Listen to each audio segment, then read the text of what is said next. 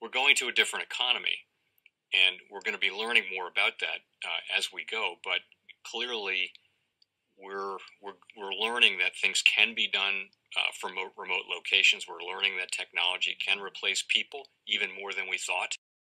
We're not going back to the same economy. We're going, we're recovering, but to a different economy, and it'll be one that is more leveraged to technology. And I worry that that is going to make it even more difficult than it was for for many workers. In Silicon Valley, and my friends who work in technology know that what we did to the manufacturing workers, we are now going to do to the retail workers, the call center workers, the fast food workers, the truck drivers, and then even bookkeepers, accountants, uh, insurance agents, lawyers, and on and on through the economy. So, what happened to the manufacturing workers is a very clear sign. This effort and China has big plans for this. They intend to seed um, their digital yuan into the global environment by giving it away to visitors at next winter's Olympics. When they arrive at the airport, they're going to get yuan digital wallets. They're going to receive digital yuan. They're going to use it uh, throughout their visits to Beijing, and then they're going to take it back to their home countries.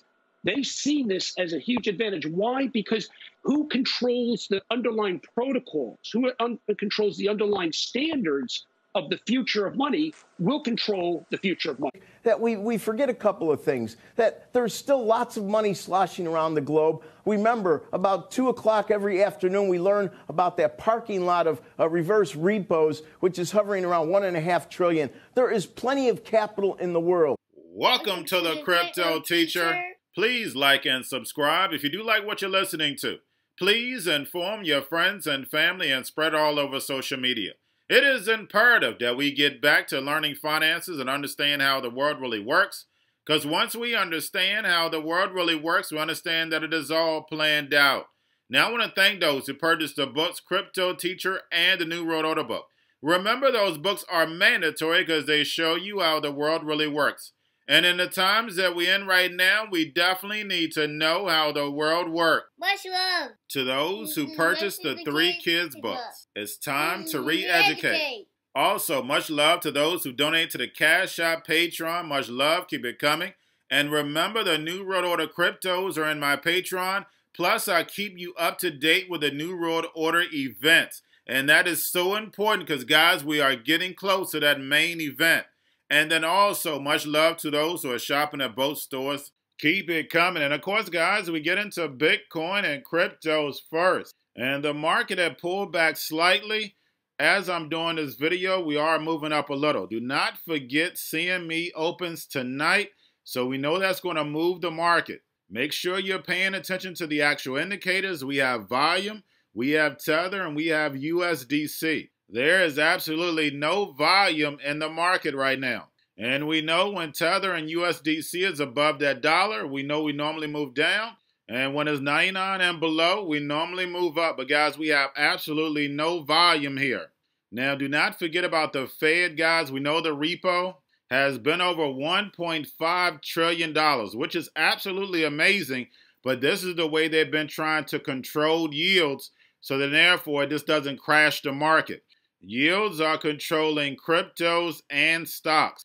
And do not forget about the grayscale whale. They have been quiet over the last two months. So they've been moving lockstep with the Fed. They already knew what the Fed was going to do. We see the manipulation. Grayscale went from 60 billion assets under management all the way down to 30. It's creeped up to about 32, 33. But they were selling before the pullback. Now, guys, we're going to get over into a little crypto news. We have fourth quarter 2001 XRP markets report that came out January 28th. Now, we have Ripple has been a buyer of XRP in the secondary market and expects to continue to undertake purchases in the future at market prices as ODL continues to gain global momentum. Now, the key is this paragraph here leases. Certain wallets are being used for XRP sales, also provide short term leases to market makers. This is worth noting given they are often incorrectly interpreted by the market participants as sales. Leases are ultimately returned to Ripple. Total leases outstanding in fourth quarter of 2021 were 88 million XRP. And guys, we know market makers boost liquidity. Now, looking over the past two years, we saw XRP get a boost at the end of January going into February.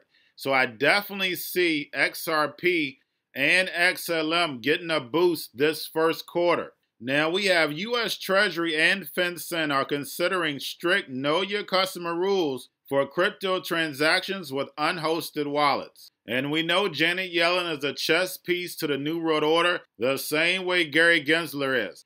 The whole point of cryptocurrencies was cutting out the middleman, peer to peer transactions. But as we can see, as crypto is developing, we see the big banks, the big corporations have been funding this from the beginning. If I make a cash transaction, you don't know what I did. The whole point is they want to know everything that you're actually doing.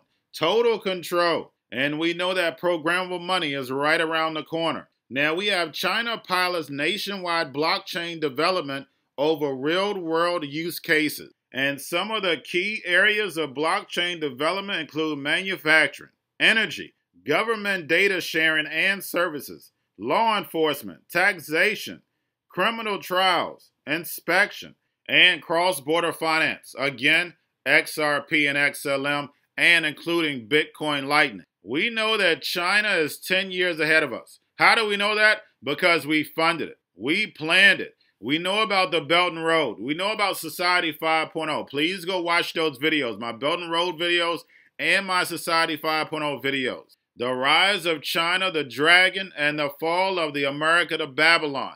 That digital yuan is going to be backed by that digital SDR, and the crypto teacher wrote about it a long time ago. But guys, all I have for you, don't forget about the books, Crypto Teacher and the New World Order book, plus the three kids books. It's time to re-educate. Also, if you're new to cryptos, Coinbase, BitChute, Binance, and not forget book links and crypto links are in the description. The Crypto Teacher Stock Channel, Crypto Teacher Stocks. You have your Kobo, your chip stocks, your banking, your gaming, while everybody's sitting at home, got their own stocks, the C-Word, the biotech stocks, and while everybody's at home wishing they were still getting that free money, what are they doing? Drinking and smoking weed. Don't forget about those stocks, and you have a wonderful day. The most powerful person in the world is the storyteller. The storyteller sets the vision, values, and agenda of an entire generation to come. Steve Jobs. And guys, you know I truly believe in this. When you look at the New World Order, they're the storytellers. And that's the reason why I wrote my New World Order book. But guys, now it's time to change the current generation. And I wrote three kids' books. You know, I love the Trinity because I understand the power that's in it. So I have three books. We have an opportunity to change the generation, to educate not just me, but I want to show you that I take action on a daily basis. And I want you to take action on a daily basis whether it's your job, whether it's in your community, we have an opportunity right now to educate the masses. I posted this on my Twitter account. Please share, but this is a short clip of the three books. There's going to be a clothing line and action figures. Please get these books for your kids, nephews, cousins, friends, so therefore we can start the re education now. Because as we see, the fourth industrial revolution foundation is definitely here. Robots, algorithms, drones, taking humanity out the picture. We have to re educate.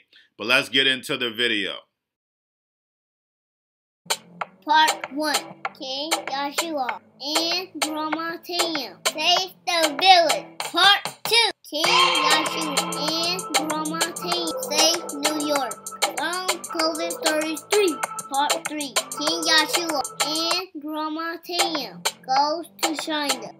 It's mandatory to get part 1, part 2, and part 3 of this series. It's time to re educate Generation Z.